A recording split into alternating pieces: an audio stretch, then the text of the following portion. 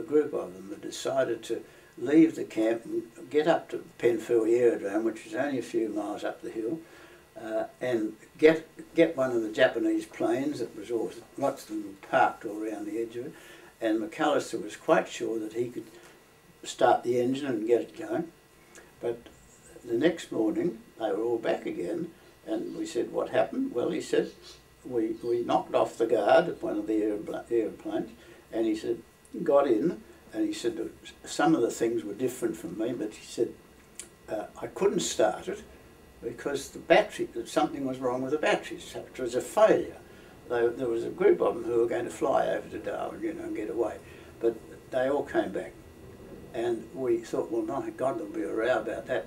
But, you know, we never heard anything from the Nips about it. They never uh, showed any uh, ire or anger about this, this, and they never penalised the fellas in the group of six went up there. Mm, it's amazing. Yeah, but he... Uh, he stayed with us and of course went up to Java with us in the end and he tried, according to the stories I've had since, he tried to get another aeroplane wherever he was, whichever camp he was in, but again he failed to get it. And so his, his two attempts to escape didn't work out. But he mm. came back and I think he did, became prominent in Melbourne doing something or other, I'm not sure now. Yes. Anyhow, he survived. Yes, he's still around. Mm.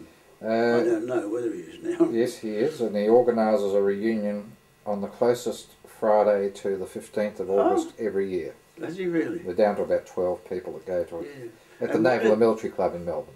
The what? At the Naval and Military yeah. Club in what, Melbourne. What did he do in Melbourne? Was he, uh, did he stay in the Air Force? I look, I don't know. No, I'm yeah. sorry. No.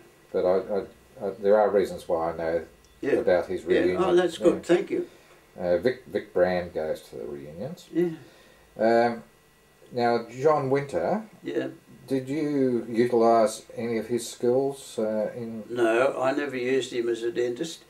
Uh, I, I don't know what what he did. Uh, he he must have had business because we had no toothbrushes and we had no dental hygiene at all. So he probably uh, saw a lot of patients and helped them with their teeth. And I don't know what he did really, but he never. I never had to use his services. Do you know whether the Japs? Uh, no, I don't know no, whether no. he went to the Japs or not. Okay. How, how many chaplains do you recall being on Timor? Uh, two. Uh, Padre Binderman was the Anglican. He was a, he was a Toc H man. That's right. He was a Toc H. Uh -huh. Uh, that must have been some religion I've never heard of. But anyhow, he was an Anglican and he uh, started up services. We used to go to a service in the morning and the evening of, of Sundays, and he did all the burials, of course, uh, and there were plenty of those.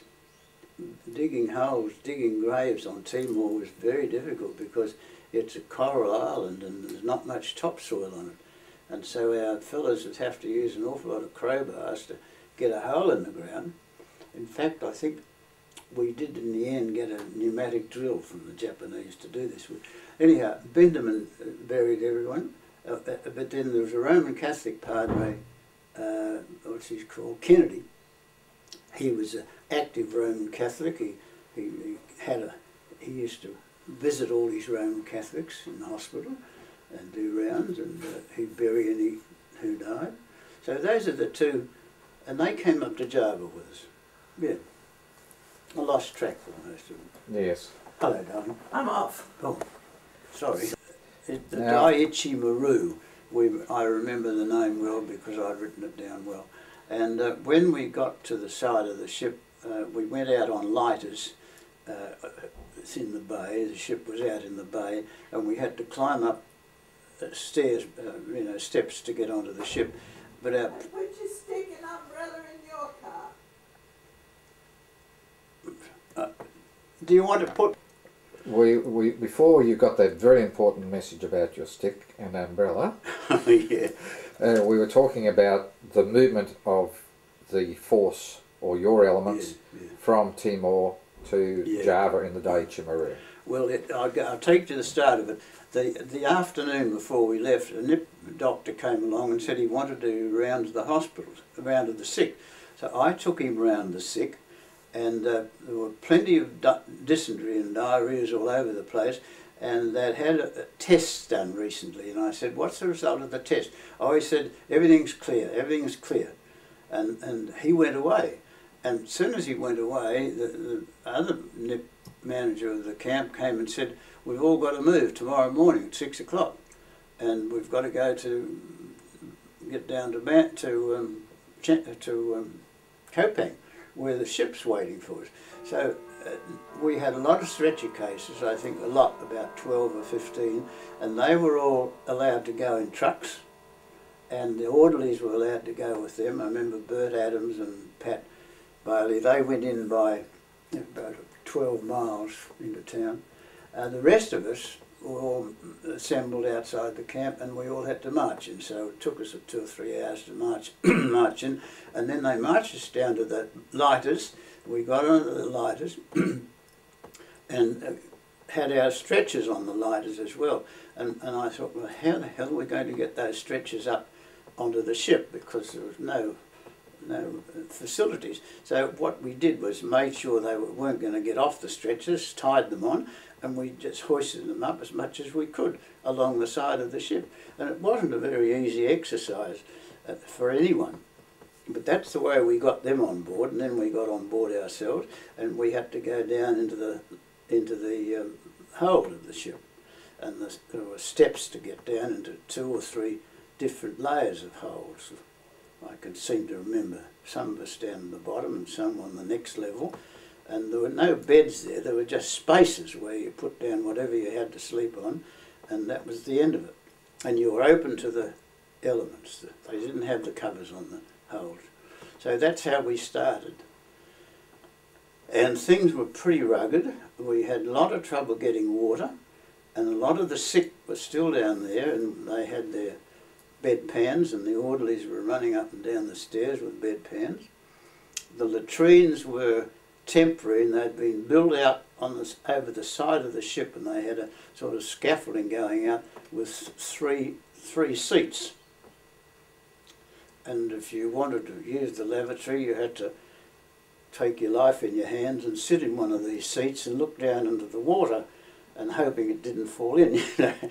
And that's uh, uh, that was the very busiest part of the ship, getting the sick who could walk up to the lavatories, and those who couldn't walk, well, bedpans were being used. And this was one of our main problems because it wasn't very hygienic to have all this movement going on with feces down in the mould of the, whole of the ship.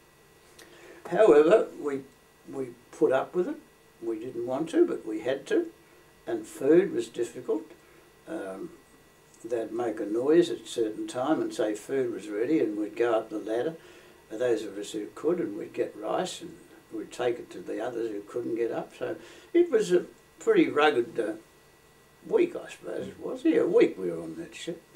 And we were, when you're going up the straits between, uh, between Lombok and Java, that's the last island before you hit the, there's a very strong current coming down um, from north to south, and our ship wasn't working very well. So virtually was making all the noise and standing still. And we were told then the Japanese were out there with their torpedoes and wanted to torpedo us. And they, they probably did send some because we were throwing off depth charges all the time. But I imagine that when a torpedo is put into a current like that, it doesn't doesn't find it. So we were lucky. We weren't knocked off. A lot of Japanese uh, uh, torpedo uh, submarines worked on, on these prisoner of war ships, and as you know, many of them were sunk on their way up to Japan. And so just to stop you at that point, you've just mentioned Japanese submarines, but were you not mentioning I'm the sorry, Allied submarines? Sorry, yeah, yeah. Uh, the, the, the, American submarines. Yeah, yeah, yeah. They were they were knocking off the Jap ships as fast as they could go. Now, where were your, your, your stretcher patients? Were they on the deck or down in the hold? They were down in the hold. Mm.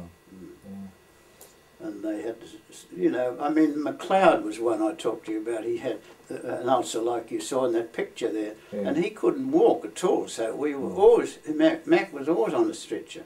And there were lots of other stretchers, fractured femurs that were only in the process of healing and so mm. on, with plaster on them. Mm. We had about 15, 12 or 15 stretches an hour. Yes. Yeah.